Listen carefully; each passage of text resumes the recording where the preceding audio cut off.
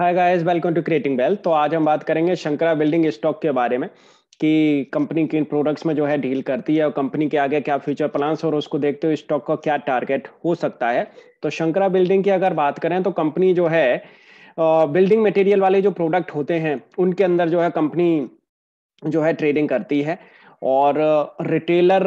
का जो है कंपनी काम करती है रिटेल सेक्टर के अंदर है एंड साथ के साथ अगर देखेंगे तो करीब करीब हंड्रेड से ज़्यादा इनके जो हैं स्टोर्स मौजूद हैं Karnataka Kerala Andhra Pradesh Telangana Tamil Nadu Maharashtra Gujarat Orissa M P and Pondicherry के अंदर और कंपनी काफ़ी पुरानी है 1995 से जो है कंपनी जो है काम कर रही है इनका हेडक्वार्टर जो है बेंगलोर के अंदर है एंड uh, इनकी जो ब्रांड नेम की अगर बात करें तो इनका ब्रांड है शंकरा बिल्ड प्रो तो एक जगह पे जो है आपको सारे के सारे बिल्डिंग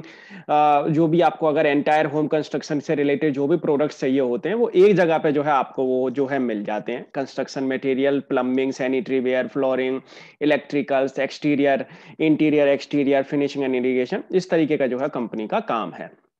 आप ऑनलाइन भी इनके प्रोडक्ट्स को जो है परचेज कर सकते हैं थर्टी थाउजेंड से ज़्यादा इनके पास में जो है एक्स की यूज़ मौजूद हैं और कंपनी कहीं ना कहीं जो है कुछ अपने यहाँ भी जो है कुछ ना कुछ थोड़े बहुत प्रोडक्ट जो है डेवलप करती है जैसे भी जो है क्लाइंट को ज़रूरत होती है उसकी तरीके से कस्टमाइज जो है प्रोडक्ट जो है कर सक करती रहती है यहाँ पे देखेंगे तो इनके पास में ये सारी की सारी जो है ब्रांड्स हैं जिनको जिनको जो है कंपनी अपने प्लेटफॉर्म के थ्रू जो है सेल कर रही है तो मेरे हिसाब से कोई ज़्यादा ऐसा कोई एक अलग जो है बिजनेस नहीं है जो रिटेल सेक्टर मार्केट के अंदर अगर आप देखेंगे तो बहुत से जो है रिटेल सेक्टर होलसेल वाले जो है बैठे हैं जो इस तरीके का जो है काम करते हैं इन्वेस्टमेंट उन्होंने भी जो है कर रखा है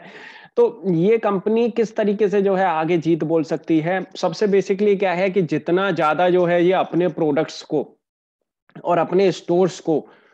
ऑल ओवर इंडिया खोलती हुई नजर आएगी उतना ज्यादा इसको फायदा है जस्ट लाइक रिटेल सेक्टर है आप देख सकते हैं जैसे कि अगर बात करें डी मार्ट का अगर वी मार्ट की बात करें या डी मार्ट की बात करें तो रिटेल चैन है रिटेल चैन का सबसे बड़ा फायदा जब भी ही होता है जब वो अपने आप को स्प्रेड करें ज़्यादा से ज़्यादा all over India all over world अगर वो स्प्रेड करते हैं तब कहीं जाके जो है उनको फ़ायदा होता है एक ही जगह पे या एक ही स्टेट के अंदर या एक ही सिटी के अंदर अगर वो घुसे रहेंगे तो उससे कोई ज़्यादा बड़ा कोई फ़ायदा होता नहीं है हालांकि जैसा मुझको लगता है धीरे धीरे करके जो है ये आने वाले टाइम में अगर ये अपने जो है रिटेल स्टोर्स ओपन करते हुए दिखते हैं फिर तो फायदा है ऑनलाइन भी कहीं ना कहीं जो है सपोर्ट तो मिलेगा जिस तरीके का इनका जो है बिजनेस मॉडल है इन्होंने जो है ऑनलाइन भी जो है प्रोडक्ट अप लगाना स्टार्ट कर दिया है तो उससे कहीं ना कहीं इनको जो है ऑनलाइन भी फायदा मिलेगा लेकिन कहीं ना कहीं जो है ये एक ऐसा एक बिजनेस नहीं है जहाँ पे आप कहें कि जो छोटे छोटे इलाकों में अगर आप जाओगे वहाँ पे भी रिटेल स्टोर्स मौजूद हैं कहीं कहीं आपको होलसेल स्टोर्स भी जो है मौजूद हैं जो ऑनलाइन नहीं है जो एन एस e, e पे जो है नहीं है या जो ऑफलाइन अपना काम चला रहे हैं कारोबार चला रहे हैं और इस तरीके के जो है प्रोडक्ट्स को जो है वो भी सेल कर रहे हैं तो मेरे हिसाब से जो है कि कोई ऐसा एक कोई बिजनेस यूनिक बिजनेस नहीं है जिसमें जो है मेरे हिसाब से जो है दाब लगाया जाना चाहिए और कुछ ऐसा नया जो नहीं कर रहे हैं ये बस इतना जरूर है कि एक ही जगह पे आपको जो है बिल्डिंग मटेरियल के प्रोडक्ट मिल जाते हैं आजकल पब्लिक बहुत जो है चालू हो गई है वो हर जगह जो है पहले पांच जगह पे जो है पूछती है प्रोडक्ट उसके बाद में जो है कहीं ना कहीं वो खरीदा जाता है उसको तो हम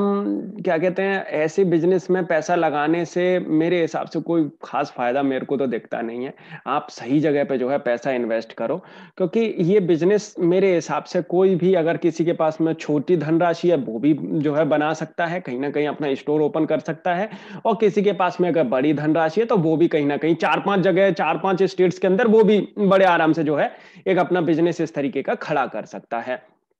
अब बात कर लें आगे किस तरीके की जो है डिमांड रह सकती है बिल्डिंग मटेरियल प्रोडक्ट है इसकी तो देखेंगे तो हर महीने जो है कहीं ना कहीं बारह महीने जो है इनकी डिमांड रहती है और 12 महीने 300 दिन ये प्रोडक्ट जो है सेल होता है इस तरीके की जो है डिमांड है लेकिन उसके बावजूद भी कहीं ना कहीं देखेंगे तो कंपनी उस तरीके का जो है परफॉर्म नहीं कर पा रही है जिस तरीके के इनके पास में प्रोडक्ट हैं बिल्डिंग मटेरियल से रिलेटेड अब यहाँ पे अगर बात कर लें retail space product as states मैंने आपको जो है ये सारी चीज़ें इनको मैंने आपको जो है बताई हैं किस तरीके से इन्होंने जो है अपने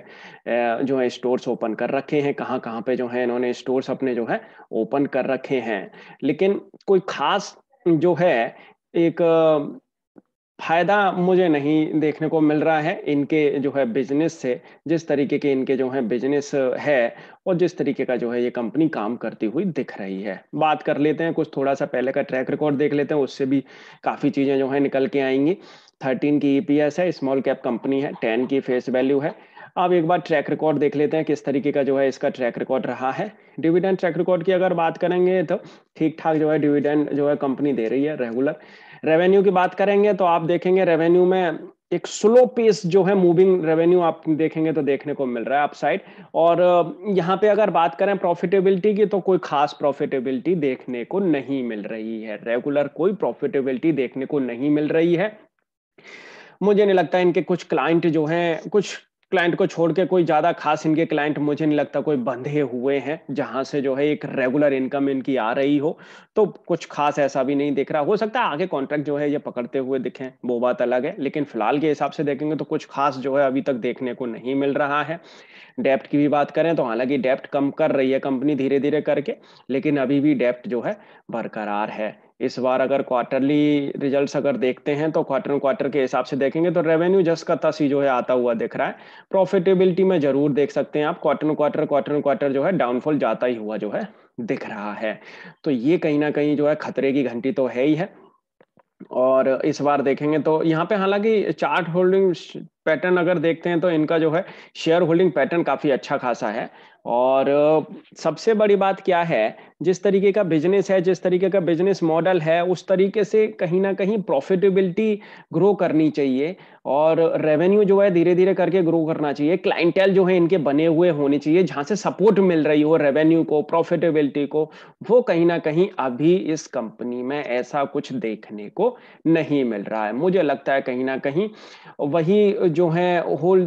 रिटेलर जो है ज़्यादा है जो क्लाइंट जो डोमेस्टिक यूज के लिए लेके जाता है या कंस्ट्रक्शन के लिए लेके जाता है वो कहीं ना कहीं क्लाइंट जो है आ रहा है इधर उधर का ही और कोई मुझे नहीं लगता कोई ज़्यादा क्लाइंट इनके पास में ऐसे बंधे हुए हैं जिनको जो है ये माल अपना जो है सप्लाई कर रहे हैं रेगुलर वे में तो वो चीज़ें जो हैं इसमें अभी दिख रही हैं वो कहीं ना कहीं जो है कच्चा माल है अभी इस समय पे और यहाँ पे अगर बात करते हैं chart hold share holding pattern chart की तो चार्ट आप देखेंगे जिस तरीके से जो है अपसाइड इसने दिखाई है चार्ट ने उसी तरीके से डाउनफॉल भी अच्छा खासा आ चुका है और अपने बिल्कुल एरिया में ठीक ठाक एरिया में पहुंच चुका है जहाँ पे जो है इसका चार्ट होना चाहिए था स्टॉक का प्राइस होना चाहिए था अच्छा खासा देख सकते हैं यहाँ पे जो है इसने अपना टाइम जो है निकाला है स्टॉक ने अब यहां से देख सकते हैं ये वाली जो कैंडल बनी है फरवरी की सारी दुनिया में देखेंगे और सब जो है गिरे हुए हैं सारे के सारे जो है चार्ट और सारे के सारे जो है स्टॉक्स गिरे हुए हैं इस स्टॉक में देखेंगे तो बहुत ही तेजी जो है देखने को मिल रही है अब यहाँ पे दो ही बात है या तो ये तेजी फंसाने के लिए है या बाकी में कंपनी के कहीं ना कहीं कुछ ना कुछ हाथ में ऐसे कुछ ऑर्डर्स लगे हैं जो आपको आने वाले क्वार्टर्स में देखने को मिलेंगे उनके जो है परिणाम मेरे हिसाब से जो है रेगुलर अगर आप देख रहे हैं लॉन्ग टर्म के लिए इसमें इन्वेस्ट करने की सोच रहे हैं मेरे हिसाब से दूर रहो तो कोई ज़्यादा बड़ी बात नहीं है कुछ और बहुत कंपनी है मार्केट के अंदर जिनमें आप पैसा जो है बना सकते हो अच्छा खासा